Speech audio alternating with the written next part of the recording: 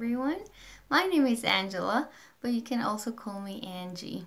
I am originally from Guatemala, a small country in Central America, but I also lived in New Jersey in the United States.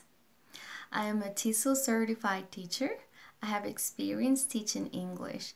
I've been teaching English for over 10 years. I taught children to adults. I am here for you to help you to help you learn English. But why choose me as your teacher? Well, I can give you a few reasons. One is because I'm adaptable. I think being adaptable is important because every student is different and have different interests. Number two is because I'm humorous.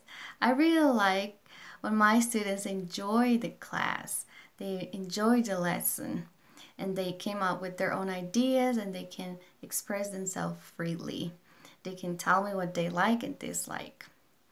I'm also dedicated. I really like to pay attention to my students' needs and I really like to help them to reach their full potential. Well, that's all for now. Those are the reasons why you uh, should choose me as your teacher. Well, take care and I hope to see you soon in the classroom. Goodbye.